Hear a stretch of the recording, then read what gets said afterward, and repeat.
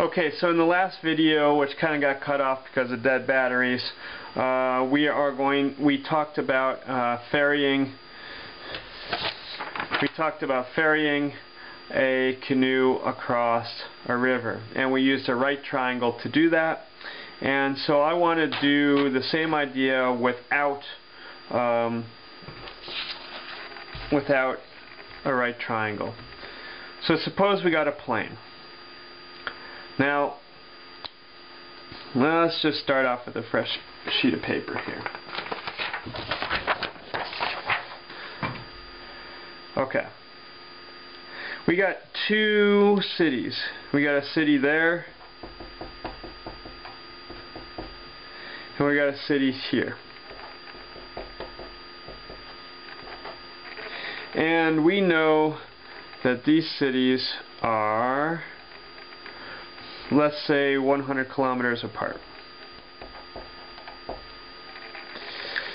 So now you'd think, well, if you want to fly from this city to that city, that what you should do is you should just get in your plane and you should just point from city 1 to city 2 and you're going to end up uh, at city 2.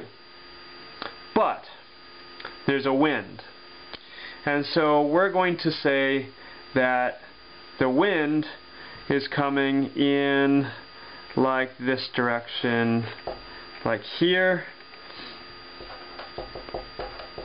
And way up high, we're going to say that that wind is traveling at, say, uh, 80 kilometers per hour.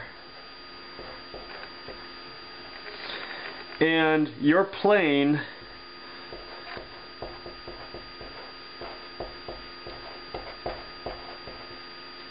is, uh, let's say the speed of your plane is uh, 200 miles an hour, so 200 miles an hour um,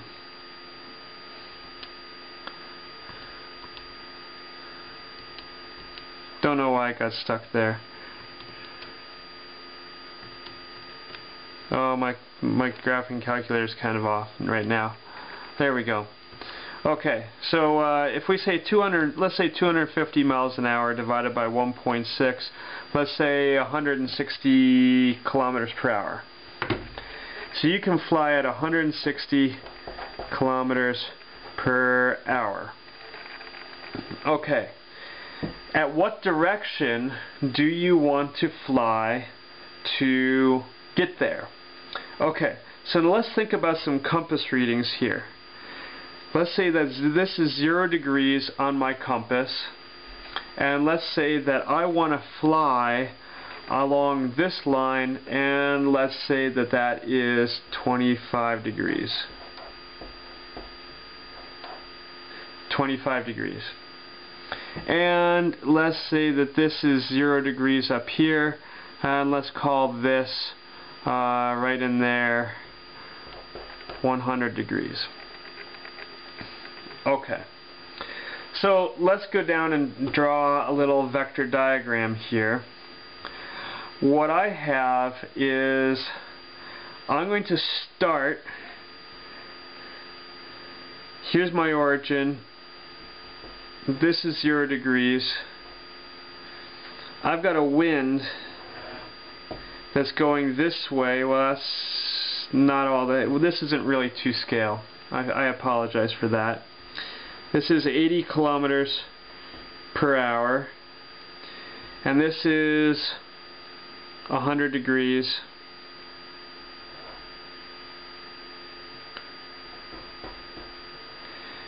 And now my now I want to go up on a line like this. And so I want my if this if my plane can go at 160 kilometers per hour and the wind is 80 kilometers per hour, I can fly twice the length of this vector. So I'm going to go something like this.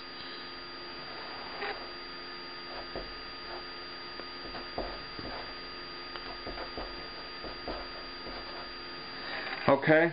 And so I need to know what angle do I fly at? Okay, so the key thing is, is if I don't know what angle to fly at, I can't get to my uh, destination.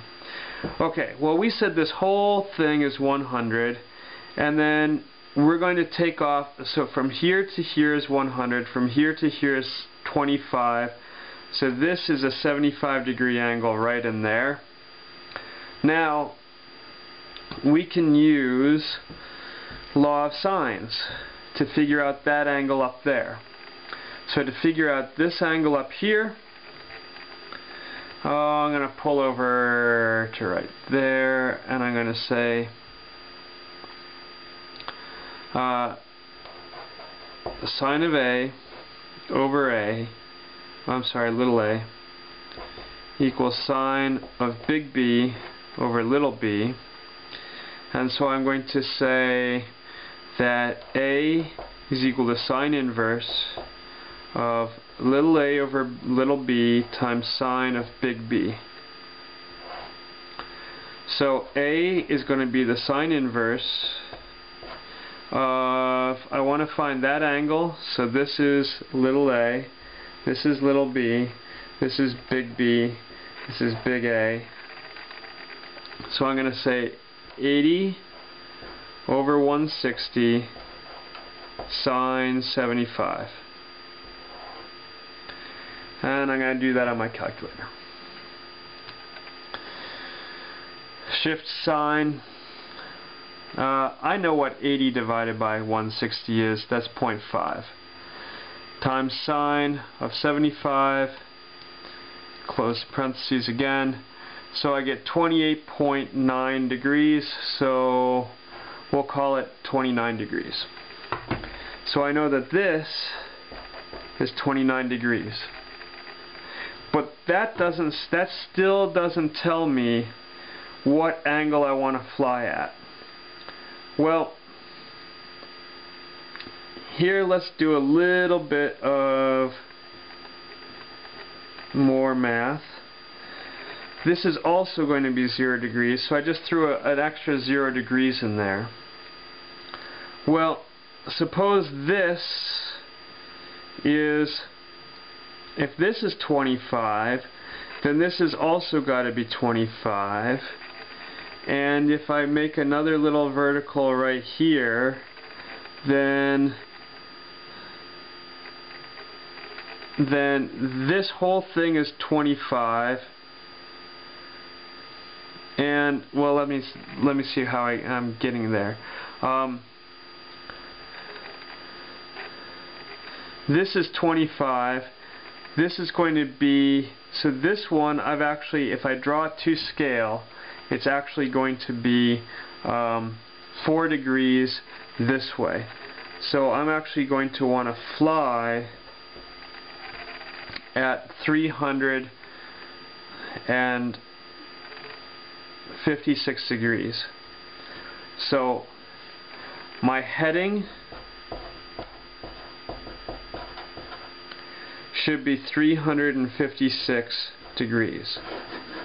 Okay, now I think I just sort of sketched that out and I want to spend um, another video where I actually graph it out really nice so that you can see clearly that it ends up as 356 degrees. So I'll come back in my next video and do that.